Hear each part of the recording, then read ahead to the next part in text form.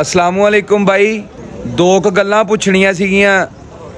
ਇੱਕ ਗੱਲ ਤਾਂ ਇਹ ਪੁੱਛਣੀ ਸੀਗੀ, ਈਰਾਨ ਦੇ ਵਿੱਚ ਜਿਹੜੇ ਲੀਡਰ ਨੂੰ ਬੰਬ ਸੁੱਟ ਕੇ ਮਾਰਿਆ, ਕਿਉਂ ਮਾਰਿਆ, ਕਿਹਨੇ ਮਾਰਿਆ, ਕਿਹਨੇ ਸਾਜ਼ਿਸ਼ ਕੀਤੀ, ਕਿਹਨੇ ਮਦਦ ਕੀਤੀ। ਇੱਕ ਹੁੰਦਾ ਨਾ ਇਨਸਾਨ ਦੇ ਦਿਮਾਗ 'ਚ ਫਸੀ ਹੁੰਦੀ ਇੱਕ ਗੱਲ। ਮੇਰੇ ਦਿਮਾਗ 'ਚ ਫਸੀਆਂ ਐ ਦੋ ਤਿੰਨ ਗੱਲਾਂ। ਸਕੂਨ ਨਹੀਂ ਮਿਲਣ ਦਿਆ। ਮੈਂ ਆਪਣੇ ਮੰਡੀ ਦੇ ਵਿੱਚ ਵੀ ਚਾਰ ਵੱਡੇ ਬੰਦਿਆਂ ਦੇ ਕੋਲੋਂ ਪੁੱਛਣ ਦੀ ਕੋਸ਼ਿਸ਼ ਕੀਤੀ। ਕੋ ਜਿਹੜੇ ਨੌਲੇਜ ਰੱਖਦੇ ਆ, ਖਬਰਾਂ ਦੇਖਦੇ ਆ। ਤੇ ਕਿਸੇ ਬੰਦੇ ਨੇ ਵੀ ਮੈਨੂੰ ਕੋਈ ਵੈਲਿਡ ਜਵਾਬ ਨਹੀਂ ਦਿੱਤਾ। ਮੇਰਾ ਜ਼ਿਹਨੀ ਤੌਰ ਤੇ ਮੁਤਮਨ ਨਹੀਂ ਹੋਇਆ ਮੈਂ ਗੱਲ ਦਾ ਜਵਾਬ ਸੁਣ ਕੇ। ਫਿਰ ਮੈਂ ਸੋਚਿਆ ਵੀ 4-5 ਲੱਖ ਬੰਦਾ ਮੈਨੂੰ ਵੇਖਦਾ ਆ, ਸੁਣਦਾ ਆ। ਭੈਣ ਭਰਾ ਮੇਰਾ ਹੈਗਾ ਸੋਸ਼ਲ ਮੀਡੀਆ ਤੇ। ਉਹਨਾਂ ਦੇ ਮੂਹਰੇ ਸਵਾਲ ਰੱਖਦਾ ਕਿ ਕਿਆ ਇਸਮਾਈਲ ਹਾਨੀਆਂ ਜਿਨ੍ਹਾਂ ਨੂੰ ਘਰ ਬੁਲਾ ਕੇ ਬੰਬ ਸੁੱਟ ਕੇ ਮਜ਼ੈਲ ਸੁੱਟ ਕੇ ਮਰਵਾਤਾ,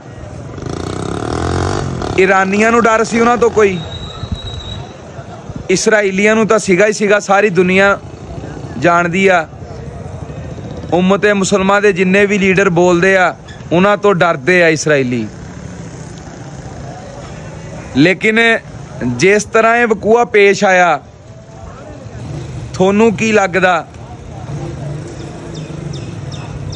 ਤਾਰੀਖ ਦੁਹਰਾਈ ਗਈ ਆ ਜਾਂ ਈਰਾਨ ਨੂੰ ਬਦਨਾਮ ਕਰਨ ਵਾਸਤੇ ਮੌਕੇ ਦਾ ਫਾਇਦਾ ਚੁੱਕਿਆ ਗਿਆ? ਕੀ ਲੱਗਦਾ? ਬਹੁਤ ਸਾਰੇ ਗੁੰਝਲ ਆ ਦਿਮਾਗ ਦੇ ਵਿੱਚ ਪਏ ਹੋਏ।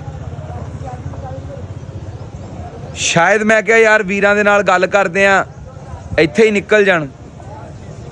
ਤੁਹਾਡੇ ਕਮੈਂਟਾਂ ਦਾ ਇੰਤਜ਼ਾਰ ਰਹੂਗਾ। ਫਜ਼ੂਲ ਮੇਰਾ ਭਰਾ, ਕੋਈ ਵੀ ਗੱਲ ਨਾ ਕਰਿਓ। ਜਿਹੜੀਆਂ ਹਕੀਕਤ ਨਾ, ਤਲਖ ਹਕੀਕਤਾਂ, ਉਹ ਬਿਆਨ ਕਰਿਓ। ਕੋਈ ਆਪਾਂ ਨੂੰ ਮਾਰਨ ਨਹੀਂ ਲੱਗਾ ਵੀਰੇ। ਕੋਈ ਆਪਾਂ ਨੂੰ ਮੂੰਹ 'ਚ ਨਹੀਂ ਪਾਉਣ ਲੱਗਾ। ਦੂਸਰੀ ਗੱਲ ਮੈਂ ਉਹ ਪੁੱਛਣੀ ਸੀਗੀ।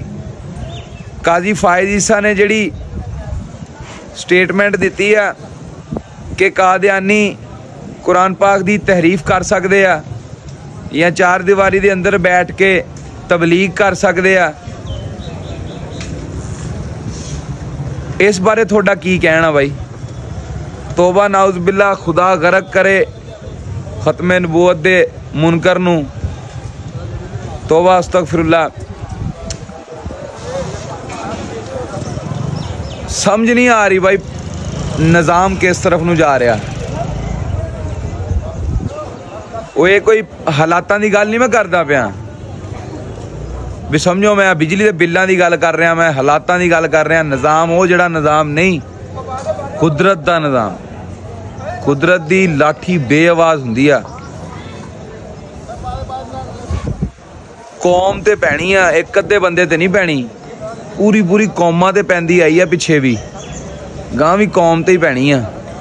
ਖਤਮੇ ਨਬੂਵਤ ਦੇ ਮੁਨਕਰਾਂ ਦੇ ਖਿਲਾਫ ਜੇ ਤੁਸੀਂ ਆਵਾਜ਼ ਨਾ ਚੁੱਕੀ, ਕੀ ਮੂੰਹ ਦਿਖਾਓਗੇ ਗਾਂ ਜਾ ਕੇ?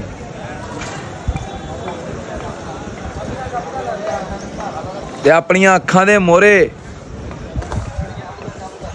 ਆਪਣੇ ਵਜੂਦ ਹਿਲ ਰਹੇ ਆ। ਜ਼ਿੰਦਾ ਇਨਸਾਨਾਂ ਦੇ ਮੋਰੇ ਜ਼ਿੰਦਾ ਲਾਸ਼ਾਂ ਦੇ ਮੋਰੇ ਕਿਹੜਾ ਕੰਮ ਆ ਜਿਹੜਾ ਨਹੀਂ ਹੋਇਆ ਹਜੇ ਤੱਕ?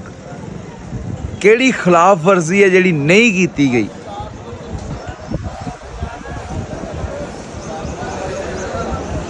या अल्लाह तू माफ़ कर या अल्लाह तू माफ़ कर तोबा अस्तग तोबा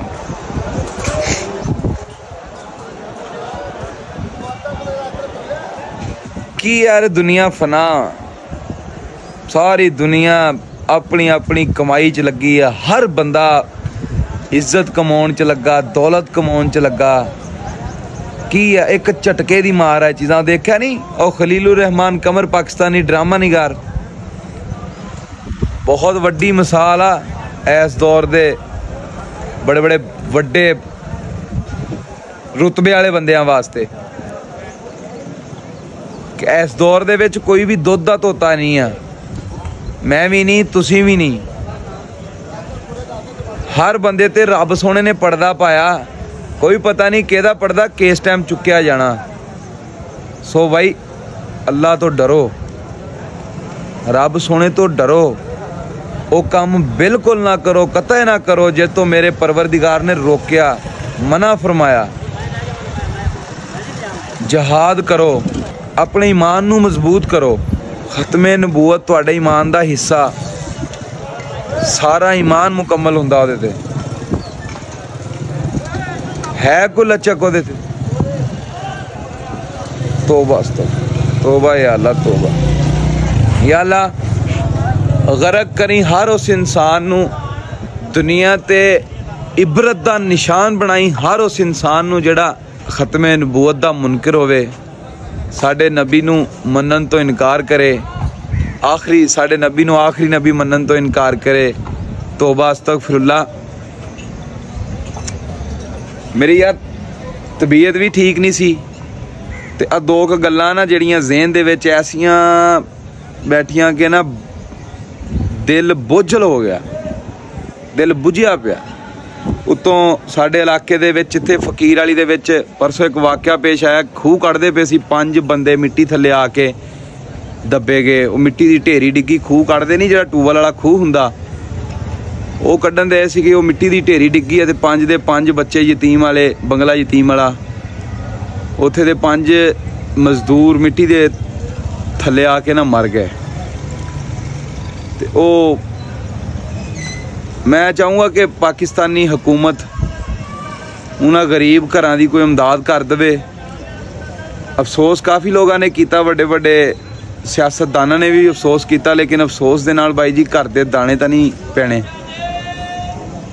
ਉਹਨਾਂ ਦੇ ਬੱਚੇ ਖੁਦਾ ਨਾ ਖਾਸਤਾ ਕਿਸੇ ਗਲਤ ਕੰਮ ਦਾ ਸ਼ਿਕਾਰ ਹੋਣਗੇ ਜਦੋਂ ਖਾਣ ਨੂੰ ਰੋਟੀ ਨਾ ਹੋਈ ਉਹ ਕਹਿੰਦਾ ਕਿ ਬੁਲੰਦੀਆਂ ख्वाहिशें थी जिनकी चटाइयों पे उतर आए मार के ठोकर ताज को गदाइयों पर उतर आए देखा जब माँ को तन्हाई में सूखी रोटियां खाते नन्हे नन्हे बच्चे फेंक कर बस्ता कमाई पे उतर आए